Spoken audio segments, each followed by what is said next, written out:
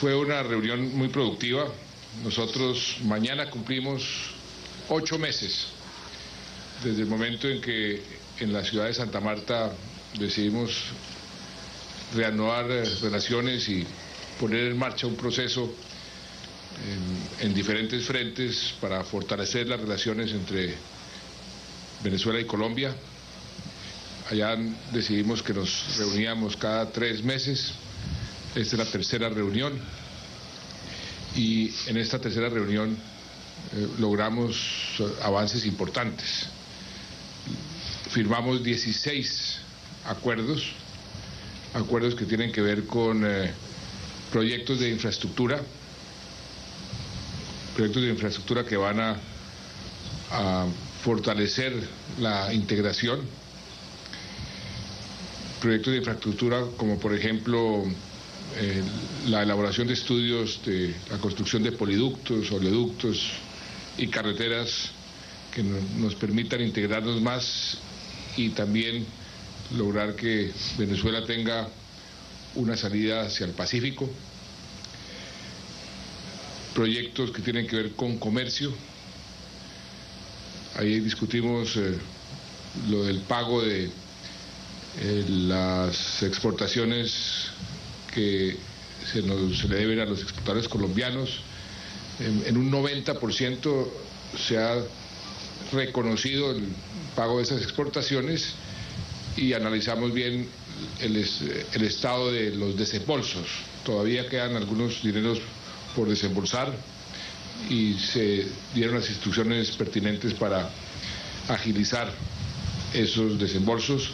Lo mismo que eh, se discutió el flujo comercial ya en términos prácticos, se identificaron algunos cuellos de botella que existen todavía y se dieron las instrucciones para eh, ir eh, eliminando esos cuellos de botella.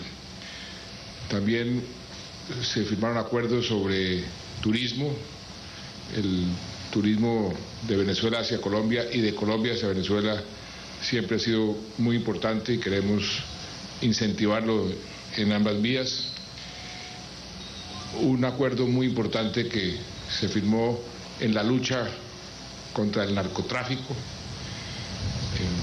Fue un acuerdo amplio donde nos comprometimos los dos países y sus respectivas fuerzas a colaborar en, varios eslabones de la cadena para combatir con más efectividad este flagelo del narcotráfico. Acuerdos que tienen que ver también con la salud, la creación de empresas en, Venezuela con empresas eh, colombianas para la producción de diferentes eh, productos, entre ellos, por ejemplo, una empresa que, quiere producir genéricos en Venezuela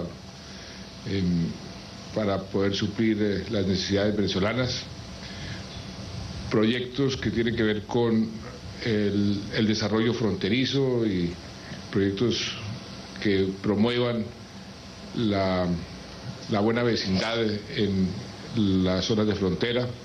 Ahí también se identificaron unos proyectos que ya están marchando.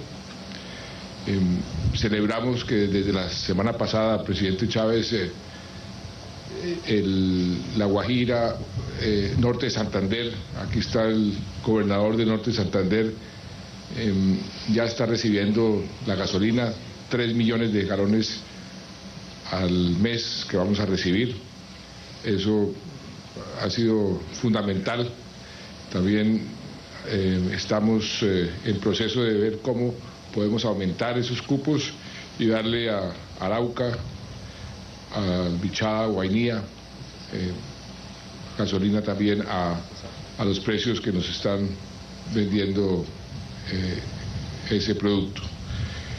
Agradecerle al presidente Chávez la donación de un eh, puente en Tibú que está beneficiando ya a cerca de 12.000 familias que han quedado aisladas por la voladura del puente por parte de la guerrilla. Y hablando de puentes, el puente de Tienditas eh, ya se le puso fecha para tener estructurado el proyecto y e iniciar la, construcción a la mayor brevedad posible. Por otro lado, como ustedes vieron aquí, eh, llegó el presidente Porfirio Lobo de Honduras con el presidente Chávez, con el canciller Maduro, con la canciller María Ángel Holguín. Desde hace algún tiempo hemos venido haciendo una eh, diplomacia discreta para tratar de normalizar la situación eh, de Honduras en el hemisferio, para que vuelva a reintegrarse a la OEA y para que su situación sea reconocida por todos los países como una situación normal. Fue dentro de ese espíritu que vino el presidente Lobo.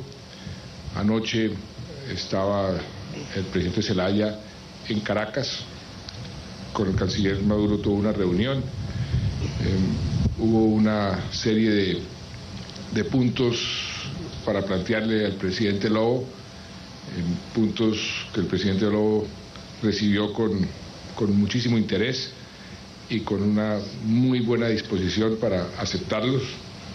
Se decidió que los cancilleres le darían continuidad a esta reunión de hoy, tanto con el presidente Lobo, con el presidente Zelaya, para tener en la mayor brevedad posible un documento que se pueda suscribir, que sería la base para despejar definitivamente eh, ese proceso de normalización y el reingreso de Honduras a la OEA. Em, creo que es un paso importante y esperamos que este proceso se pueda eh, concretar eh, a la mayor brevedad posible por el bien de Honduras, por el bien de Centroamérica, por el bien de, todos, de todo el sistema interamericano, también por el bien de, Latinoamérica. De manera que ahí hay un punto importante y quiero agradecerle eh, de corazón al presidente Chávez eh, la ayuda y la muy buena disposición y, su muy efectiva diplomacia para que este paso que se dio hoy eh, fuera posible. O sea que nos vamos muy satisfechos, quedamos de reunirnos nuevamente dentro de este proceso de, reuniones cada tres meses a mediados de julio y en entretanto muchos de los acuerdos eh, que hemos firmado hoy tienen que ponerse en marcha, le vamos a hacer un seguimiento a esos acuerdos para que dentro de tres meses podamos eh, medir el avance en los diferentes frentes. El acuerdo comercial me, me recuerda la, la canciller, ni más ni menos se me estaba quedando entre el tintero eh, algo tan importante. Ahí lo que se se decidió fue que hoy tenemos un paraguas legal, que es la CAN, pero el 21 de abril eh, Venezuela deja de ser parte de la CAN y eh, estudiamos la, la, eh, la situación para que no existiera solución de continuidad, es decir, que no existiera una interrupción. Como todavía no hemos llegado a un acuerdo, a un nuevo acuerdo, porque están los equipos negociadores en ese proceso, lo que se decidió fue extender las reglas de juego que hoy rigen el comercio entre Venezuela y Colombia eh, por tres meses prorrogables em, para que eh, los equipos negociadores sigan en la negociación con miras a que el nuevo acuerdo, cuando esté posible, lo podemos eh, poner a funcionar.